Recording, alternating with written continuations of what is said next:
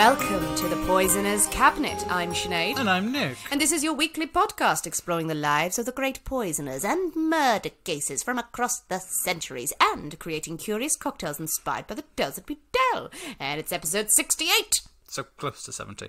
So close. I like those round numbers. You do. You do. You respond well to round numbers. How are you, Nick? I'm alright. Enjoying my holiday. I'm Oh, on you're on holiday. holiday. Yeah, I'm to work now, though. So I could be on a sofa watching telly. I've interrupted your holiday You by have. doing this m- podcast that you love and that you love to do, and you can drink and listen to stories. Yeah, fine. Well, dear listeners, you're loved. Uh, well, any poisonings this week? I don't think so. No? Haven't left the house, really. Your idea of a holiday is not going to a beach or going Oh, and God, no. exploring new It's, places. it's seeing as few people as possible. It's my absolute perfect. Having a nice lie down Having a nice lie down and a sit in a dark room and not having to leave my house. for five days Perfect. straight. Thank you to everyone who has been really, really lovely over the past couple of weeks. Everyone has sent us so many nice messages. You are seen, you are loved. We really, really appreciate all you beautiful people out there in the podcast community and our fans. This is the first time that we've recorded the podcast at my house for, for some time, isn't it? For some time, indeed. That's why if it sounds cavernously echoey, it's, that's, that's why because I live in a Because cave. Sinead has a palatial house, high ceilings and chandeliers, Yes, and a butler. whereas I live in a box. But it's a nice box. I live in this old ramshackle mansion alone, rattling around with a dead butler. That's your husband. I know, he doesn't like his work. Well, speaking of dead butlers and huge ramshackle mansions, I think it's time for us to thank our Patreon subscribers because that's what they pay for. Yes, absolutely. they're, they're the ones funding your dead butlers. So thank you so much to Alison Smith, To Fiendish Glee, to Ashley Rivers, to Kaya Johnson, Debs Moss. and Alexandra Rodriguez. Well, oh. hurrah. Hurrah! Lovely, sexy names this week. Thank Oh. you very much. Thank you to everyone who's joined our little Patreon family. Oh, Patreon's a wonderful, wonderful, happy place, isn't it? Lots of excitement going on there. Lots There of are. stories and death. Th- Which is what people want. Which is what people pay for. Well, Nick, are you ready Uh, to drink cocktails and talk about poison? I mean, it's only, what, four in the afternoon? I think it's definitely time for a cocktail. Oh, or we could drink poison and talk about cocktails because it's the afternoon and that's more civilized. Is is poison time afternoon time? Is Oh, afternoon- absolutely. 4 p.m. is poison Is time. poison time. Right, I'm not familiar with this tradition, I must admit. Poison time is 4 p.m. 6 p.m. is cocktail hour. Right. 8 p.m. is put them together and see what happens. Okay, I think your dead butler is telling you misleading things. He said it was a thing. he says it's what all the fanciest people do. well, it seems like it was a cry for help in retrospect now, but I just went with it because I wanted to be fancy. Yeah, I'll go with a cocktail. Okay, go with a cocktail. Move all my chandeliers out of the way. That was Absolutely. another ill-advised investment. We're going to go with the first one. Great, because we can't, we can't, we can't possibly tell a story without a cocktail in hand. As you know, dear listeners, every week we pick a secret ingredient that is inspired by the tale that we tell that will flavour our cocktail of the week. My story this week and my pick of the ingredient, and I can also already mm-hmm. see Nick's disdain just creeping across the table at me because this week's secret ingredient is oysters. Mm. Oh, yay. Yay! Yay. How lovely. You're mm. really upset by this, aren't you? I don't like oysters in the slightest. Why don't you like oysters? No, they're just slimy and. bleh. They're not slimy. It's not very nice. the taste of the sea. Which is a taste everyone wants, apparently. I don't mind an oyster. I don't mind an oyster. A little bit of lemon juice in there, a little bit of vinegar, slop down. I don't mind a cooked oyster. I have to say, See, I've never had a cooked I oyster. don't mind. I've, I don't mind a cooked oyster. But I can I can deal with that. It's the raw slimy shenanigans. Can't be doing it. I like the raw stuff because it makes you feel great. It's all protein and the sea and yay, run around, yum yum yum yum yum. Usually with a vat of wine that I have with it. I'll well, the wine. Well, you know what? I'm sorry, it's my story, so I say oysters. Yay! Mm. So with oysters as the ingredient and the inspiration, he, he, Mm. Nick looks really annoyed. He's like, I am done with your shit. That's this is it. This is the show. This is the episode that's going to break him. What have you come up with, Nick? Well, I mean, there are a few options. There are. There are. And then- so the first thing that came to mind would be prairie oysters. That is the first thing that sprang to mind. Okay. Have a bit of a musical theatre moment. Now, prairie oysters are uh, brandy or cognac I think it's and a, cognac. and a raw egg. Cognac, yeah. Worcestershire sauce, hot sauce, yeah, egg yolk. I could still make those. It's an option. It's an option. It's- it's an option. Maybe we'll see how this goes. If the, if the one that well, we have fails miserably, then you you have at it. You potentially tomorrow you'll need one because they are they are meant to be like a, a pick me up, a hangover. Yeah, hangover cure. So I don't have a hangover at the moment, so I didn't think it would be appropriate. no, okay, fair Um, enough. So fair maybe enough. that's a tomorrow drink. Okay, No. but that's a backup. Always good to have an emergency backup. There was another thing that someone put on social Rocky Mountain oysters. It's not those. No. No. Oh, okay. What, what, what is, is it? Just eating oysters? No, they're testicles. Oh, oh, what? Testicles. Oh no, I've animals. heard of that. I think I've it's heard Rocky of Mountain. that. Oh god, I think I've heard of like bulls oysters Yeah, or yeah, something like that. yeah. Or, or testicles. It's, it's, testicles. it's to make it sound more fancy, and people aren't going to go, oh, testicles. But then if people don't like oysters, they go. "Oh." Probably more likely to choose that than a large plate of balls. what establishment is this that thought they would dress it up because the clientele they were getting in up the Well, mountain were all coming in in ball gowns, going, "Any oysters in? No. Oh wow, they wouldn't be fooled by a plate of But testicles. that any different to any other sort of awfully things? Uh-huh. I don't know. I've never had. I've never Uh, tasted no, neither have I. Neither have I, to be honest. This could lead to a number of jokes. Yes, indeed. so, so it's not those. Ah, balls. Um, so going off on a slight. No, not. I'm not going to say a tangent, Oh, but we're going on. A, we're going oyster adjacent. Oyster adjacent. Yes. Okay. Now who's throwing the evil eyes? Because if you dodged oysters by going oysters, they begin with O. Ooh, let's look at olives. not not quite that that far right, adjacent. oyster so this, adjacent, this right. week we have we are having we're having a French pearl. oh, for God's sake. What? God, as soon as you, like a nanosecond before you said it, going, oh God, he's going to go for pearl, isn't he? He's going to go for pearl rather than have anything oyster related. Ah, very clever. Yes, very I clever. thought so. I thought ah, that gets me out of that one. We're still going to have prairie oysters at the end of you can have that. I am not we can film it. because I will vomit all over your house. It's a small price to pay. My huge cavernous house. There's a vomiting room. You can go into it. well, I'm glad. The dead butler. It'll be lovely. Something for him to do. Okay, then. So a French pearl. French pearl. Better be served with oysters. Right. There, well, I say there was one that which was quite intriguing, which was uh, St. Petersburg Martini, Yes, I think I saw that which one. is uh, vermouth but infused with oyster shells. Yeah, see, we could have done that. I thought you might have done that. I was going to, but then because I, I I even contacted uh, the local fishmonger and said, "Do you have any oyster shells?" And they said no. Oh, really? Hmm. Bastards. So then I thought, well, I can't be asked to drive to the seaside. Um, I mean, Whitstable, which is 10 minutes away. yeah, well, without a car, it's longer to drive. Uh, yeah, it's very hard to drive without a car, yeah. It's damn near impossible, even. Oh no, you could have just hiked there with a, with a burlap sack and come stick. back with your oysters, singing a song about oysters and sacks. yeah, it doesn't sound like a fun journey. Doesn't actually, doesn't now yeah, I've said it. Yeah. so so I didn't go for that option either. But that uh, that, that was an intriguing one. I'm really intrigued by that. If I ever get oysters, we'll make that. So yeah, so if we ha- buy some oysters and save the shells, and we'll give that one a go. We're going to have a French pearl. Sounds delightfully elegant. Oh, I should well, hope so. So I think it's time for us to go into the poisoner's cabinet kitchen and shake up a storm. See you in a minute. We'll see you in a bit.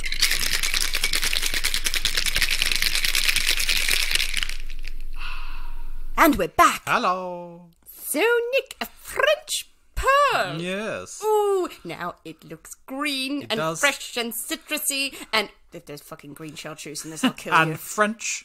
What? And Wait. French and green and French. lovely. Wait, what? Wait, whoa, whoa, whoa, whoa, whoa. It's only just occurred to me that that, that might be in it. It's oh, I was so excited about this. I've been wanting a citrusy drink. I've been I've been wanting And you might have one. I gave you oysters and you thought I'll show that bitch. Pretty much. Okay, so it looks lovely and refreshing, but now I'm frightened because I've suddenly just put together French what, chartreuse, green chartreuse. What if it's in there? But you're not going to tell me what's in it, are no. you? No, I'm going to taste it yeah, first. absolutely. You know how Okay. this works. Oh, good God. All right. Well, it looks very exciting. A French pearl, elegant. I have high hopes. Let's dive in and have a taste. Indeed. Merry Christmas. Merry Christmas. Oh, I quite like that. Yeah, you would. There's not. There's not. There's something else in there, though. Oh my God. Is there absinthe in it? There is absinthe There's in it. absinthe in it. Oh, I was throwing. There was definitely something in there that was like, oh, that's weird. And I was like, is this chartreuse? I don't know. I don't. Oh no, it's absinthe. Oh, an absinthe drink. Oh, I'm not sure about that. Oh, I sure, sure. That's what I'm. That's the favorite. My favorite absinthe drink we've had. Instantly a favourite. Yeah. Oh my god. All right. Second sip. Second sip. Ooh, Oh, I can go with that. You really like I, that, yeah, don't I do. I'm really surprised. absinthe. I generally I'm not a fan of absinthe. I find it far too overpowering. Hmm. Um, but that is. Ooh, that's nice. We've got Nick's happy place. Absolutely. Yay for Nick. I am. Mm, We'll give it here then. I've never seen Nick like this. Actually, he's just like, no, this is mine, and this is what the day is going to be. I, I, you can finish it if you want in a bit, because I'm actually frightened if I don't give it to you now. It's got all the components of things I should like in there, because I feel like there's lime in there and mint, because I know there's mint in there because you took it from my garden. so yeah. What else could be? So absinthe, lime, and mint. Yep. Um, I'm assuming there's something else. Gin There is and gin. and gin. Is that it? That's it. Oh wow. Ooh. Do I like it though? I am going to say the absinthe is pretty strong in there, and the flavour is overpowering. I, I don't think it is. Oh, there's sugar syrup as well. Sugar syrup, There's yeah. sugar in there as well. Um, I don't think the absinthe is overpowering Maybe it's just personally me. because there's a few drinks where I've had where it has been overpowering. And Yeah. It's just unpleasant. I find it unpleasantly so. Well, for me, it is works really well. So what's the quantity of absinthe in here? I mean, there's a quarter of an ounce, quarter of a. Oh, that's tiny, So it's a tiny amount, but it is a very, very, very, very, very strong flavour. Yes. So it- the, the smallest amount. That's why a lot of times you just have an absinthe rinse on a glass because it's that, that it's that strong. it's been quite a while since we've had an, an absinthe Oh, cocktail. yeah. Um, the absinthe episodes generally descend into madness because it does send us insane. Some of the other absinthe cocktails, I don't know. I feel like I probably said this every time. It's been so long. I think we've had some that I quite liked. Well, we Maybe had we had the corpse reviver. That was an absinthe one. the corpse reviver is a lot of fun yes. because it's just insanely massive. Uh, what else? Arsenic and old lace. That's another one we, we've had with them, yeah, that was only okay. which is like, meh. I shouldn't have had the bottle of wine that I'd had before drinking that again in the afternoon. Yeah. Well, if you're into your absinthe, you're into your sort of aniseedy drinks, then this is everything else with it is lovely. the components are there. I'm gonna have another sip. I don't know. Just the absinthe is really strong. It's real. I. Why is it so overpowering for me at the moment? Because I've come, I've come to quite like ouzos and things like that. I used to hate them. I know it's not the same, but uh, I've come to quite like alcohol, and this is an alcohol. This is true. I mean, so you're bound to. How could you not like it? I know. I am feeling like it's a little too strong on the absinthe for me, but uh, it's a hell of a drink. I'm not going to not drink it because I don't like it, but I kind of feel like I want to give it to you and make myself a simple gin and tonic. So you've now got two of the delicious drinks because I've never seen you reach for like in your eyes like, no, give it here, give it here. I'll have it. I'll have it. I'm donating my cocktail to you. I think it's only fair because you really love it, and I don't think I should force it down if I'm only okay with it. When you'd be sitting there like puss in boots with the wide eyes, like. I want that. I like that. Give it to me. Well, Nick, with his two French pearls in hand, sounds a little bit like it's a euphemism for you walking down the street with two prostitutes in the 1800s, Yeah, absolutely. which is quite apt for the story, actually. Is it? Oh, okay. Yeah, there we Intriguing. are. And and me trailing behind with my gin and tonic, trying to be one of the cool kids, but you know, failing miserably. Are you ready for a story, Nick? Go on then. Hooray, hooray, hooray. So this is oh, this is a good story. This is a big one. Again, one never heard of. Someone suggested it, looked at that, the internet exploded as soon as I typed it in and was like, oh, ho, ho. But first I'm gonna I'm gonna set the scene for you, Nick. I'm gonna Okay. set the scene for you, Nick. Nick, it is summer, Um, on, the, 1860. on the plains of America. It's in New York City. Oh, so close. So close. The plains are nearby. They're out there.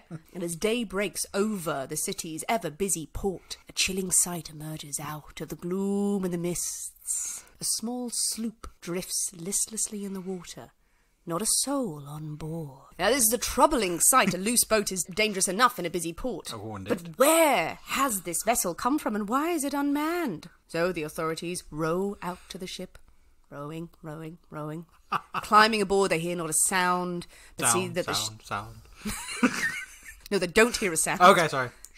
Not a sound. And they see that the ship's deck is covered in blood. That's going to be upsetting. Fresh blood. Oh. And searching through the cabins, they find no trace of the crew, only more blood and rifled belongings. And as they further search the deck, they discover, near the handrail, four severed fingers and a hmm. severed thumb. Well, that would always be disturbing. Are there great crates of earth as well? in, in the hold, by any chance? They just look over the side going, it says the Demeter on here. Should we be worried? No, no crates of earth.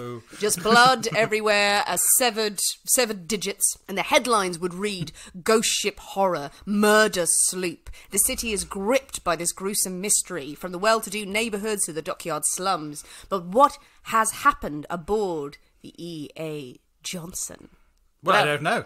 Should I tell you? Yes, I think you should. Well, we shall find out today as we tell the tale of none other than Albert Hicks, the last man to be publicly hanged in New York City. Also, perhaps the city's last pirate. Nice. And some say the Big Apple's first gangster.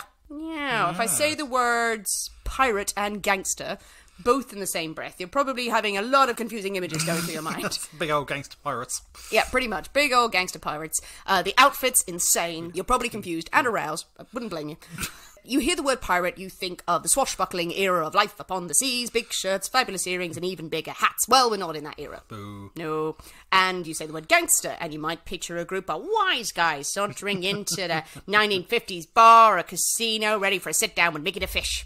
And also wearing fabulous hats. But we're not there hat, either. Hat is a continuing theme. Well, I think they both wear great hats. Yeah, absolutely. This is the tale of Albert Hicks, and it has the best of both worlds. And it also has a fabulous hat. Marvelous. So, New York City in the 1800s, not quite the metropolis we know it today. Shockingly, it is certainly one of the busiest spots in the country, jumped from about 96,000 people in 1810 to over a million by 1860. So, it growing fast. That's big, yeah. So, it's a city of immigrants, gangs, government fights for control, riots, fires, growth, collapse, growth again. So we are full on Gangs of New York territory. Have you seen Gangs of New York, the Martin Scorsese I've film? seen Gangs of New York. Oh, I do love that film. Oh, there are rabbits all over the place. There are there were no rabbits in that film, only dead rabbits. Only the rabbits. No, no rabbits in this. No, that's boo. fine. This is the time of the fabled five points where crime was rife and a murder happened every night. That is not an exaggeration. I can imagine not. In one tenement on Cross Street, they reported a murder every night for 15 years. Nice. It went well. It's good to have consistency. Exactly. When you're looking on Rightmove, you know where you stand. if you're going to stay here, what's the what's the benefit? Well, you could get killed every night. Fingers crossed, I'm breaking record. The waterfront is equally grim. Yet, yes, it's one of the most prosperous ports in all of the country, but it is also packed with pirate saloons, cramped slum accommodation, and thieves and people who had crossed the wrong people in turn swung from gibbet. And yes, pirate is anyone who is basically committing crime on the high seas or the river, Or the rivers. small seas, big seas, any seas. of those. We've had some river pirates before. We have had river pirates, But these are kind of sea pirates. Bigger hats. And port pirates, yes. Oh, no, fabulous hats. That was mainly what they were after the whole Yeah, time. absolutely. It was a quest to find bigger hats. It's it's quite quite the place, New York City. Crime is um, rife, shall we say. There's also a lot of music and dancing around this time as Well, well. how could you refuse that? Which is so it's not all bad. But these are the neighbourhoods that would end up being the stalking ground of Albert Hicks when he was ashore. So Albert Hicks was born in 1820 in Rhode Island. His father was a farmer who had seven sons. He was the second son, so he wasn't the seventh son of a seventh son. That would have been quite cool, but yeah. But his father wasn't a seventh son. not that I could find. So he had seven sons, therefore he must have been a seventh son as well. So, yeah, yeah, but but Albert was only the second son, Yeah. so none of this so his brother sense. did amazing stuff. But we're not going to cover that. Now his childhood, th- there was one. There was one. well done, well done. We do have a few details about his childhood. Uh, he was not a calm and gentle child, Are they shall we ever? say. He did a benefit from a good education because he didn't go to school. Much happier on the streets, fighting, pickpocketing, generally getting into trouble. This continues into his teens. He runs away from home repeatedly and eventually is arrested in Connecticut for all sorts of misdemeanors and is jailed. Now, this time in jail, well, jail time shouldn't be a happy time, really. This is not good time for, for Albert Hicks. He is a young man, teenage, 15, 16 years old, and he is thrown into an adult prison. That is going to be pretty horrible. He Yeah. did suffer pretty terribly in prison by his later accounts, he would say. He wouldn't have had much protection. He tried to escape at least twice, would be put back in, his sentence would be extended, and he would eventually spend one year in solitary. That is going to. It keeps you away from the other people who are trying to beat you up or shag you. It does. It also will send you crazy. Albert did say he, he went crazy while in solitary, and it was there that he swore vengeance on the rest of the human race. Okay. You're like, it's great. I'm. You, you would love solitary I would. confinement, I mean, wouldn't you? fucking, fucking awesome. I mean, you swear vengeance on the human race most Oh, um, days. absolutely. When I wake up in the morning, it's the first thing I do. when you thought you weren't going to get that second cocktail, I will swear a vengeance upon your soul. I've got a lot of vengeances going. Well, when he was freed from jail, it's fair to say he was not reformed. But far from being broken visibly being a deranged, crazy man, he was in fairly high spirits. A natural raconteur, charming, very attractive, as many people commented on. He seemed quietly comfortable, committing to a life of crime. Once he was freed from jail, he decided that his fortune would be made on the high seas. So he joins a whaling ship to sail the world, and he would travel the world. And it's while on the whaling ship he learns not to be a good sailor or to whale.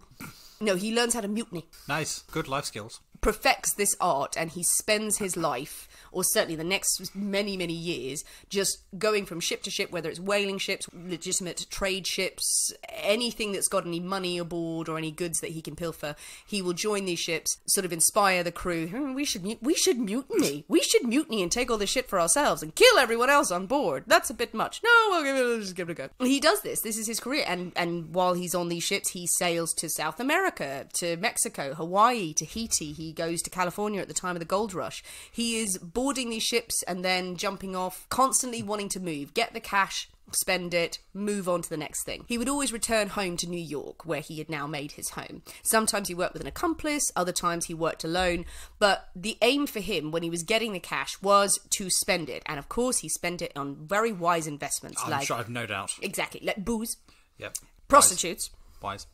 and fabulous outfits. Excellent. He Two out of three ain't bad. you would just go for the hookers and the clothes. Yeah, absolutely. Booze and clothes, hookers. Ew, go- Your French pearls would be rejected. as well as loving a drink, loving a fight, and loving a, some company. He was so stylish. This was the thing that would be his legacy. Incredibly stylish man, wanting to look the best when he strolled into the bars after a hard day of pirating. well, gonna make an effort. He does. Now, he didn't go in with the big sort of pantaloons and the big feathery hat, unfortunately. So last season. so last season. No, he was known to wear a pea coat, that is also called a monkey jacket. Yeah. Yeah, it made it quite the fashion statement later on. His little pea coat, he had this sort of uh, stylish hat slanted over one eye Nice. in this very dashing way, and he would turn up the collar of his jacket or his shirt and just be sort of, oh, yes, look at me coming into the bar. Very, very stylish. And this was a look that people said was later copied by gangsters, that people having the fedora just tilted over one eye. But yes, the cut of his suits, he wanted to spend on silk shirts, on really good trousers and shoes. He wanted to look the business. And when he was had his cash, he didn't squirrel it away or be subtle about it. He was in the bars, he was drinking, he was buying everyone drinks, he was showing them his fabulous outfits. Look at me, I'm beautiful. so in this respect, he did carve out a bit of a reputation for himself, a bit of a name as a successful pirate. Pirate would be the word you use then because gangster wasn't the word Yes. in operation. A pirate was the same thing but on the seas. Yep. And then gangster came and it was like, oh, you're on land. Yeah. That's what that was what the committee said, decided Right, okay. when they were writing the dictionary. That's what they put in. Gangster. Oh, you're not a sea. You're, you're a land. Pirate Oh, on land. pirate on land. Pirate without boat. landlocked pirate. But it would be his involvement in that horrifying ghost ship incident that would catapult him to fame. So now it is in 1860, and Hicks is 40. He is settled back in New York City. He now has a wife and a child. Reportedly, the wife knows nothing about his criminal ways, Yeah, about his past. Some writers would say that it is a bit of a classic gangster story where this part of his life he might have been trying to go straight or have a degree of respectability. He did really care about his wife and his child and he wanted to provide for them. He wanted to put all this behind him. Some people romanticize it a bit like that. And he but he would later say about how important his, his wife and child were. But children, they cost money. They're mm-hmm. expensive. Children require food and clothing and heat and light. So yes, he's going to need to have money. Light. Heat and light. yes, light. both is preferable. Because they're like plants. put them on the windowsill and they grow. Yes, technically. But also, you need to light the apartment. It could be hot in there, but you're stumbling around in the dark. Why is that fun? I know, I've never heard it say, oh, I, oh, I've run out of light this month. Let's put some more money in the light meter. Yes, that's exactly how it works. But then you're in a tenement and you're going to need to pay for the gas lamps if they have them, or fire, or lamps, or wicks go and outside. Just go outside. Open in the night- curtains. in the night time, it's famously dark. That's the thing. You have to be able to see to get to the baby to give it all the other things it needs. Right. Yep, so those those boxes of light, they don't come cheap. He needs to pay the light man. He is a cruel and harsh master. Maybe it's one last score. Or maybe he's just like, well, let's get some money. Maybe this is just going to be one in a long series of crimes he's going to keep committing. But in the romanticized view, it's a bit of he's going to go out and get one last score and provide for his family. So what does he do? He thinks, hmm, hmm, I'll go down the docks. Down the docks, see if I can find a little bit of work. See if I can earn some money. Earn some money down the docks. When, when he says this in the taverns, it's very quickly misconstrued. Perhaps that's exactly what he meant. exactly. Did But have then, fabulous hats. so he's got sixpence. that didn't work out. Apparently, he was rubbish. that was enough for the light, but he has to pay for the hats now. Um, yeah, well, indeed. There we are. But as he's trying to find uh, legitimate work down the docks, he thinks maybe a bit of work aboard a boat might uh, might be the thing I'm after. Sure enough, Hicks is swiftly hired to serve as a deckhand on the E.A. Johnson, an oyster sloop. Do they take in pearls as well? Let's say yes. Good. Let's say the entire boat was decked out, was was decorated with Yeah. pearls, with mother of pearl inlay. Absolutely. I can imagine that being like one of the, like the, the kings and queens, the pearly kings and queens, the boat for them, all covered in buttons and bling, Yes. straight from the East End. Yeah. They were going to sail to Virginia to get the oysters. They're not. Uh, I was about to say hunting for oysters. They were there with their harpoons. but it was an old whaling ship, so they converted to oyster hunting. Steve, I know you're all about the nets. Listen to me just for five minutes here. We've got this harpoon. I cannot stress how bad an idea this is. One thing, they need to stay intact. no, but if we grind up the shells, we'll make martinis. On a harpoon, you could get like, oh, at least probably like 10 oysters in a row. like a kebab. just turning them over. Perfect. That's why they needed Hicks on there. The captain's like, We've fired so many people. we can't get any oysters. No, they're not. You've got to stop trying to say hunting oysters. They're not going to dredge for oysters.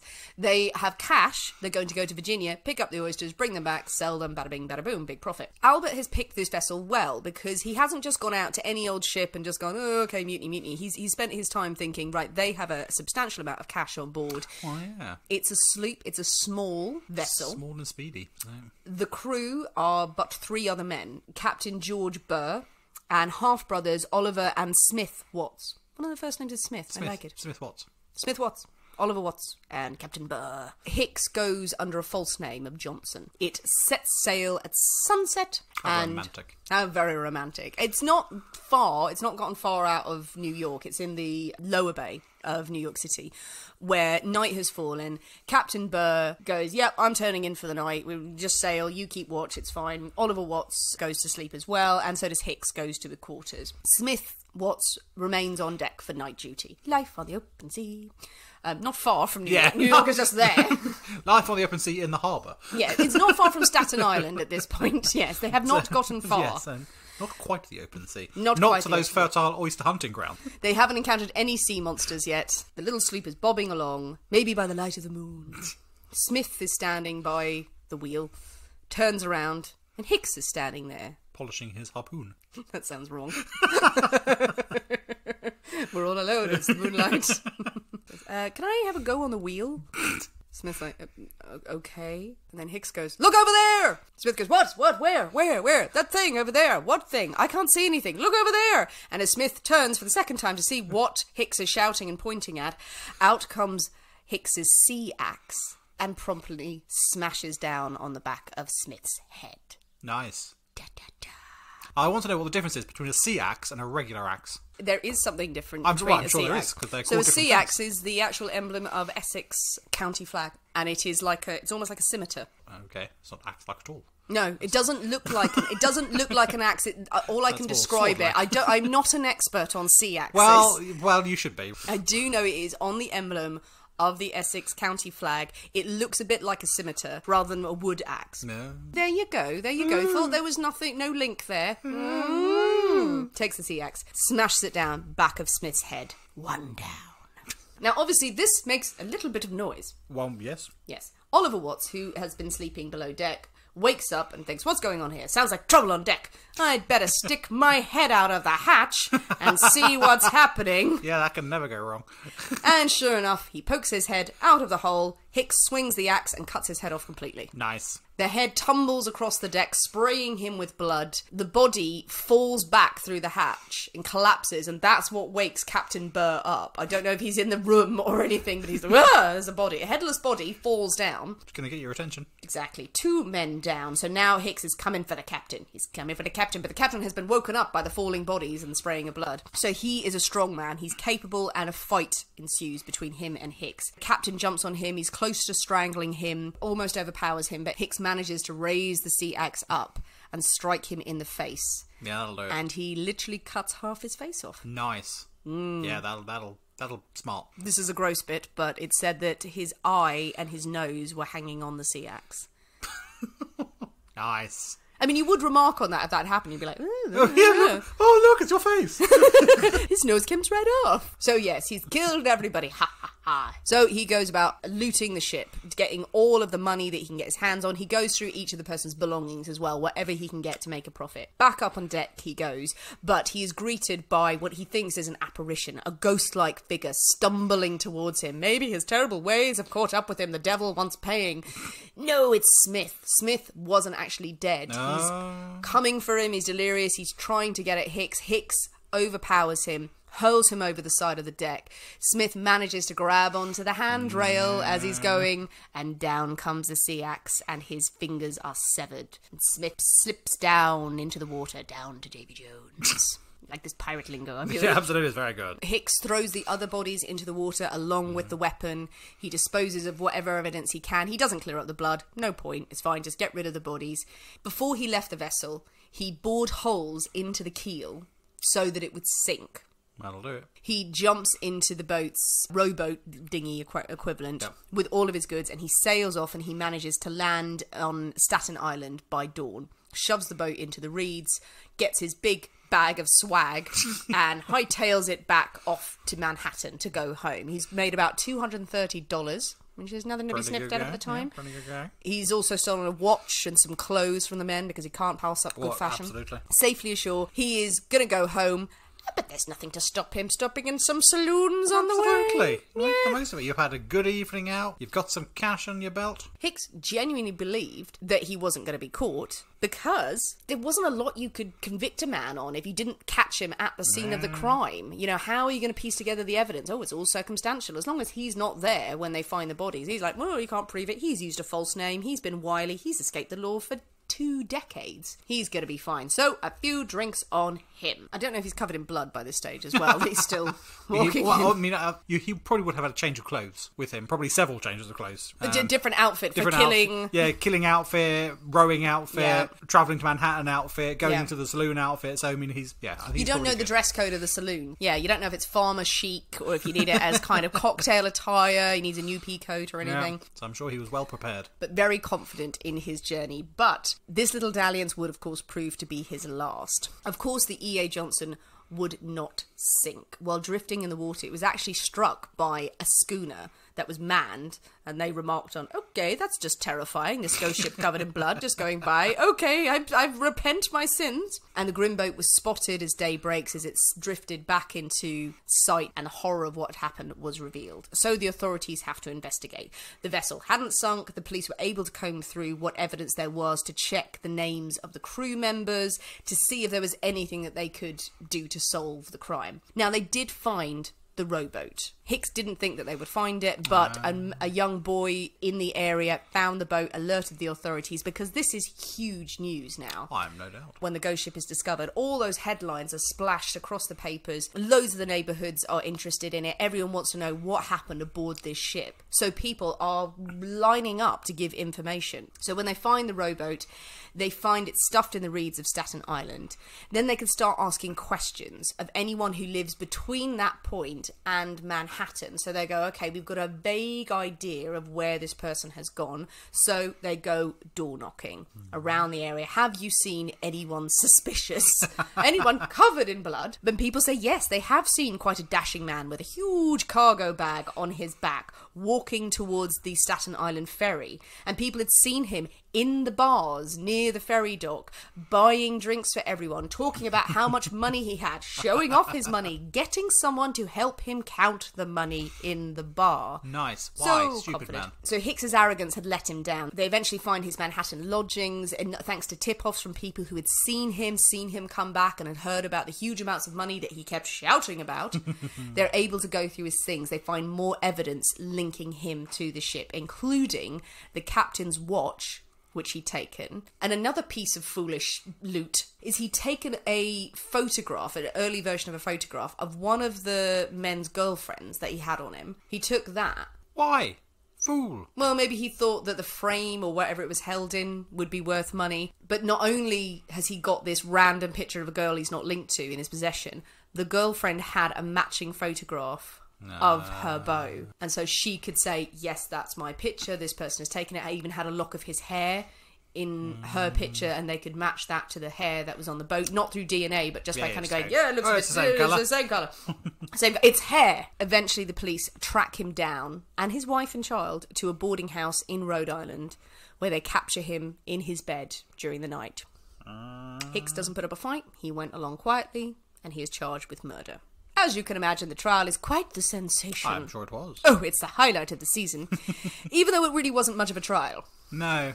No. It's a bit cut and dry, really, isn't it? You've not too much to the defence on that one, I feel. No, the evidence is very much mounted up against him. Yeah. The ev- the defense are just a bit like, uh, well, he didn't. Uh, uh, what? There's a lot of that going on. Hicks himself was said to sit smugly, even laughing at points, and didn't seem fazed by the activity at all. Various letters are read out in court attesting to what a horrible character and person Hicks is. Maybe the most damning letter was read out from one of his brothers Oh, who utterly condemned his actions. He, uh, in his letter, he wrote, "I see the ghosts of Captain Burr and the two Watts boys arise from their watery beds and point to him as the unmistakable cause." Bit dramatic. And when I contemplate the anguish and suffering of the friends of these murdered men, all my finer feelings vanish, and I sincerely hope that he will never escape through the weaknesses of the law. Well, the thing is, he was the seventh son of the seventh son, so Oh, he, yeah. he was like throwing, yeah, he needs to throw the distraction onto his own brother from all his wizardy evil ways. so it's like, there's a longer version of that brother's letter and again in it where he's you really do feel like he's going oh it's awful i think it's terrible and it's just a tragedy and he mentions in the letter his wife and child. And he writes to the words to the effect of it's awful that they have been left destitute. I would definitely look after them if only i had the means. And i can definitely prove that i don't have the means but oh no boo-hoo for them. He's a bit of a dick the Yeah. brother very much purposely saying I'm not going to support them legally. Just keep that off my plate. The damning evidence mounts up. The judge announces that Albert Hicks would be hanged on Friday the 13th Nice. of July, 1860. Hicks offered no response or reaction to the sentencing. Seemed to be completely passive. It seemed that he thought he would get out of it somehow. Hmm. He'd evaded capture for years. He'd evaded the law. Meh, something will come up, or he'll something escape. will happen, absolutely. He'll be fine. And so sensational was the case, he was getting so much attention because he's a classic that we now see. Handsome man, mm. handsome. Oh, he's so dashing and charming. Oh, and he's a criminal. Everyone's fascinated by him. One person in particular was fascinated by him. Paid him a little visit in jail. Do you mm. know who it was? No. P.T. Barnum. Oh, very good. Yeah. Oh, yes, I did. Did you He's got like he got like a mask. He's got like a death mask, didn't he? He did. He went to the jail. He gave Hicks money and gifts, things for his family, and he mm. said, "I want your death mask, and I want your clothes. I want your suit to put on a waxwork figure in my museum." And Hicks said, "Yeah, fine. Yeah, why not? Yeah, go, go for it, man. Go for it." So the death mask was on the waxwork figure, and he gave him his suit, one of his famous suits. So yeah, that's where people would go and see it. That waxwork of Hicks, I think it was proclaimed to be the most evil or the most devilish man in the entire history of the universe. Like, that was actually the Yeah, title. absolutely. It was something like that. I'm not even kidding. Uh, it survived for 10 years until it mysteriously was destroyed in a fire. Oh, mysteriously. Now, as I said, Hicks has been sort of arrogantly maintaining, like, meh, don't even care, don't even care. But the day before his execution, something cracks in him. He's like, I do care now. I do care now. I don't want to die. I want to die horribly. No. He asked for a priest to make his confession. He asked the priest, he said the devil had taken control of him. The devil had made him do everything. Could he still swap sides before he's hanged? Could he make his confession and would that allow him to go to heaven?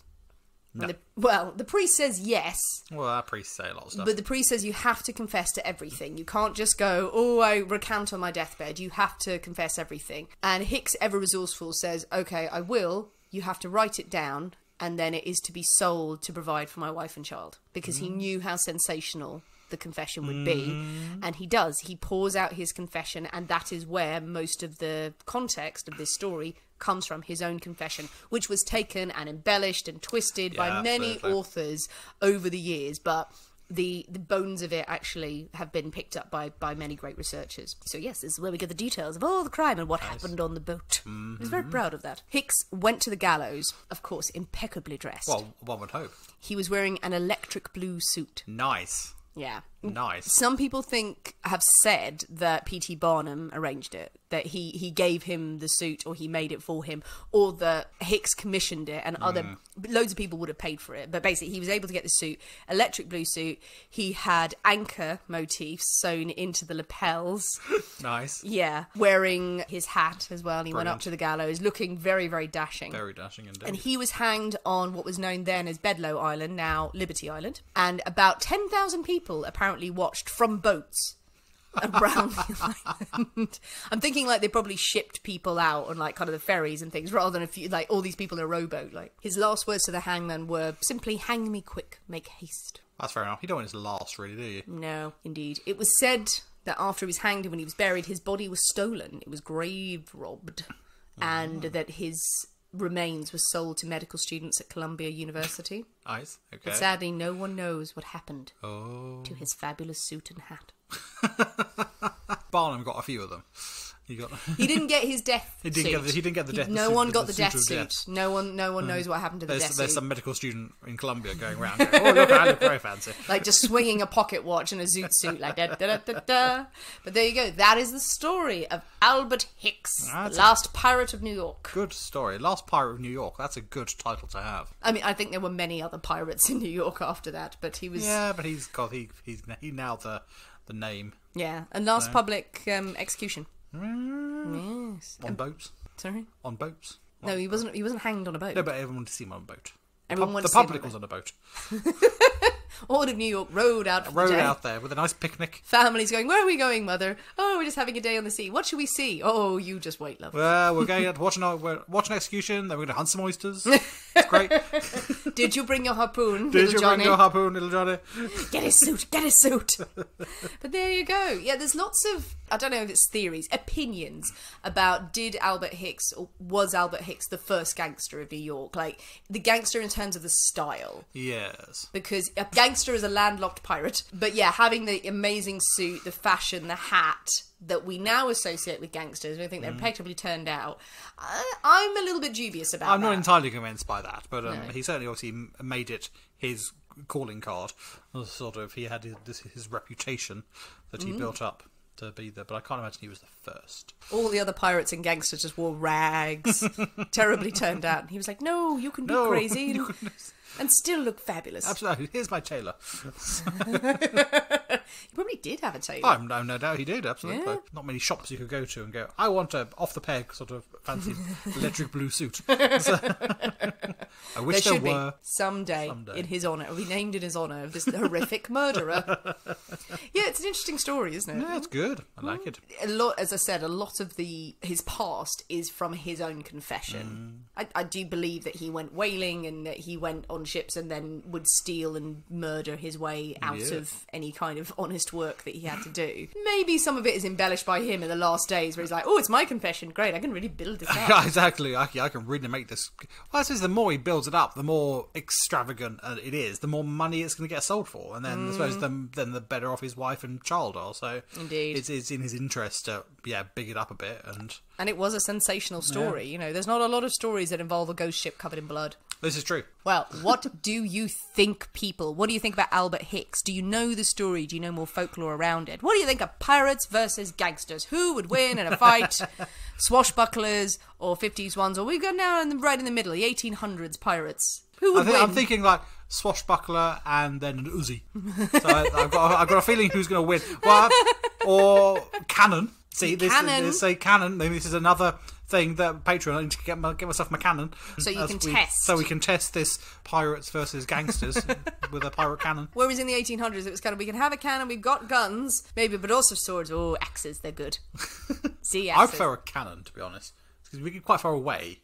I'm not much of a close-up sort of person. But they're not exactly precise if it's you're just trying to kill one person. Well, You, you need them to stand in the exact spot for a while, for a while. shouting across the seas, "Stay still! Why? Trust me!" But then you wouldn't have to hit them directly. If you were like a couple of foot out, I think you're probably going to kill them anyway. Or sink the ship, and then mostly it was to sink the ship, and then they'd all drown. Yeah, so it's fine. I'll still go with cannon. I'll still go with cannon in the streets of Canterbury, Yeah, absolutely. showing your disgust at everything. cannon! Only girls fight with swords. well, yes. What do you think, people? What do you think about cannon? Should there have been more cannons in this There should story? Jump on the comments of the social media posts. Come and talk to us in DMs, and if you haven't already, join us on Patreon. Indeed. And give the French Pearl a go. I've knocked back two. It's delightful. Might have another one. You really have knocked back Yeah, two. absolutely. And it's the absinthe. It's Bring gonna. 'em Oh, you're on, gonna bring be. 'em on. You're gonna be Absinthe, crazy. it's, it's always it's fun. so the recipe will be out on Friday. So yeah, let us know what you think. Now, should we do a prairie oyster?